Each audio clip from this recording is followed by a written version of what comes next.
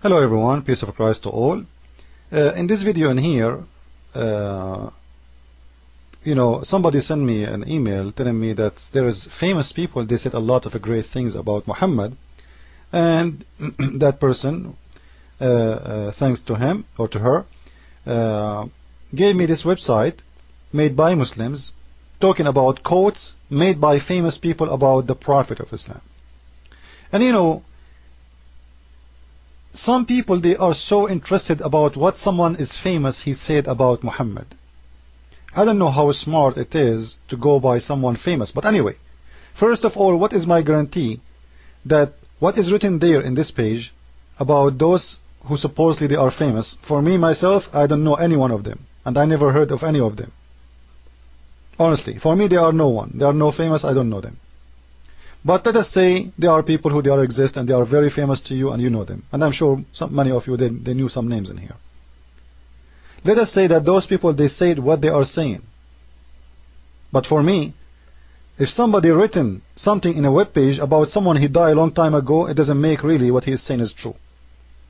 Because first, you have to go and find out yourself if he really say or said something like that. But let us assume that in this website made by Muslims, there's no lies. All of those people, they said what they are saying. Let us see what they are saying. Thomas, uh, uh, Thomas, he said, the lies, Western slander, which well-meaning zeal has happened around this man Muhammad, are disgraceful to ourselves only. Huh?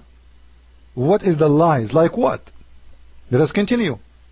The picture of Muslim soldier advancing with sword is one hand and the Quran in the other one is it quite false?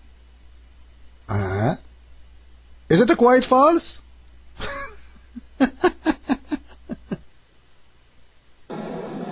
crusade against the Muslims, not a war against terror. A crusade against terror. And for your information, my dear Muslim brothers and sisters, terrorism part and parcel of Islam. Terrorism is part of the deen of Islam. Yes. Allah said in the ayah, وَعَدُّوا لَهُمْ مَا اسْتَطَعْتُم مِّن قُوَّةٍ وَمِنْ رِبَاطِ الْخَيْرِ تَرْحِبُونَ بِهِ عَدُوَّ اللَّهِ To terrify the enemies of Allah, we should prepare ourselves. Al-i'dad al-jihad, prepare to go to jihad is fard wa on the Muslims, on the males like us here. That's why you should teach your son how to ride, how to shoot, because it's the sunnah of the Nabi Muhammad and it's fard on you as a father to teach him how to become a mujahid. You believe Khalid bin Walid, Sa'd ibn Waqqas, they come from nowhere?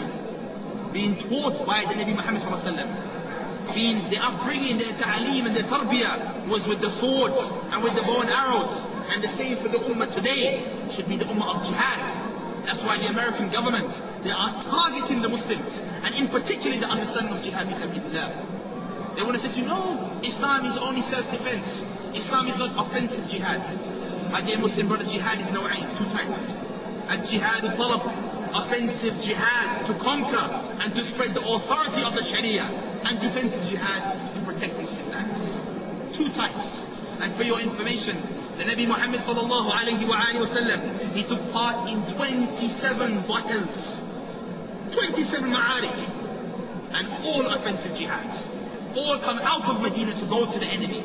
Every single battle. Even Khandaq, they left Medina and dig trench and went out. That's the Nabi Muhammad sallallahu And for your information, the Sahaba radiallahu ta'ala anhum, all offensive jihads. And we should follow them. Because the Messenger Muhammad sallallahu said in a hadith, he said, عليكم بسنتي وسنة الخلفاء الراشدين المهديين عدوا عليها بالنواجس He said, upon you, abiding on you as a Muslim, is the Nabi Sunnah and the Sunnah of the Sahaba. And for your information, the Sahaba, and in the time of Umar al-Khattab, he removed all Jews and Christians from Hijaz completely. May We do the same. That's why when you hear on the news the Mujahideen, you know, of Hijaz, they kill those British and they kill those Americans. Don't be surprised. It's not some new phenomenon to kill the enemies of Allah. And you may say to yourself, no, no, no, they're innocent. No kafir is innocent. Innocence, this, you know, abriya is only for the Muslims. No kafir is innocent. You know, sometimes I see animals or even insect, they are smarter than a human being. at least they knew where to stand and what to eat and what to do to survive. Human being is so naive. It's amazing how many uh, like tools we have around us. Like you know, I might uh, say, okay, this person he don't know, uh, because simply how he will know. We are in the year 2008. If you live in the West, I guarantee you, even kids have internet, have computers. And you know what? The internet is full of garbage. Absolutely, absolutely true. But at least you can get a lot of information. You can go and read by yourself. You can hear the negative and the positive. When somebody speak about Islam like me, I'm showing you how ugly it is. In the same time, if you ask me if there is something good about Islam, I will show I will say I will say yes, there is something good about Islam. It is exactly what has been stolen from the Bible. And I will show you the verses exactly been taken from the Bible as it is.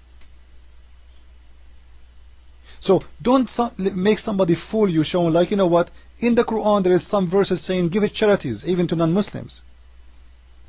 This is all is abrogated. Those all Muhammad he did use in the beginning when he was trying to promote himself. Like, you know, when a, a phone company, they open, uh, or somebody, he open a restaurant.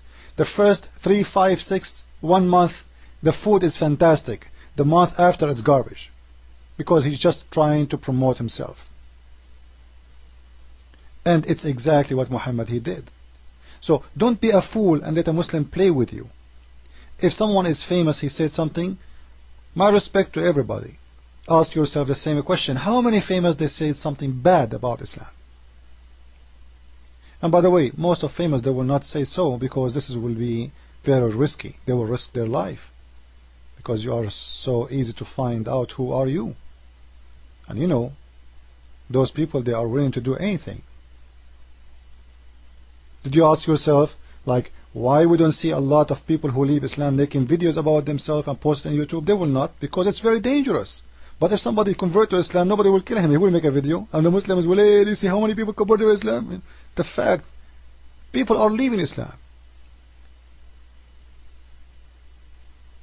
But who dare to say in public, I am an ex-Muslim? The Muslim will, will, you know, will, will assassinate him. This is a mafia. And we heard this guy is teaching little kids, and those kids one day they will they will be and they will ask you, you know what? How come we have terrorists in UK? How come we have terrorists in uh, England? How come we have terrorists in in Europe? How come? How dumb! This is what you hear in every mosque. You will see the same guy when he go out making a speech in TV. Islam is very peaceful, brother. You know, we Muslims, we are very peaceful. We give charities. We love everybody. The Prophet even, he told us to love the Christians. He just was telling them, kill them wherever you find them. We have to remove all the Christian and the Jew. I am an Arab Christian. Why you want to remove me? You know, you want to remove the American from the Arabian Arabian land? No problem. I am an Arab. Why you want to remove me? Because you are a Muslim.